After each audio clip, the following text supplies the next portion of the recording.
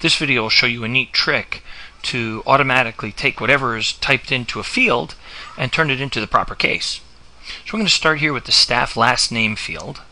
We're going to right click and go to setup rules. Then we're going to go to add and we're going to update the value of another field.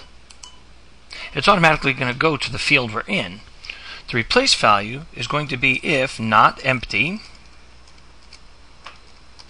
and the name of the field that we're typing into. So this is basically going to say the minute something is typed into this field, the value that we want to replace it with is the proper case of whatever we typed in. So let's see how that works. If we come into here now and I type in the last name of somebody, as soon as I tab it, it will automatically put that into the proper case. We can also use that same rule if we want to have that automatically format to uppercase by changing this from proper to upper.